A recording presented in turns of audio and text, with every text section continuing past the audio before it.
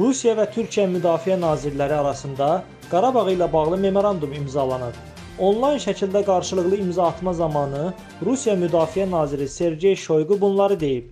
Türkiyə ilə Qarabağda atəşkəsə nəzarət etmək üçün ortaq bir mərkəzin yaradılması barədə memorandum imzaladıq.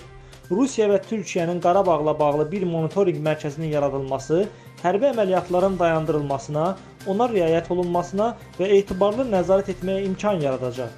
Karabağ bölgesinde de ateşkesin, barışın, huzurun sağlanmasına çok önemli bir adım atacağımıza ben bütün kalbimle inanıyorum. Türkiyə Milli Müdafiə Naziri Hulusi Akar isə Rusiya tərəfinə töhfələrindən dolayı təşəkkür edib. Sonra isə bildirib ki, bu iş birliyinin bölgəyə və tərəflərə yararlı olacağına ümid edir.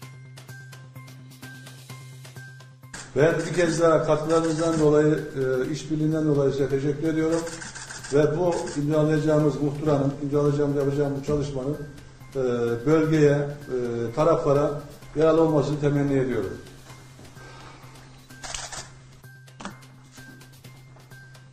Всего доброго, спасибо. Teşekkürler, iyi akşamlar. Спасибо. Спасибо.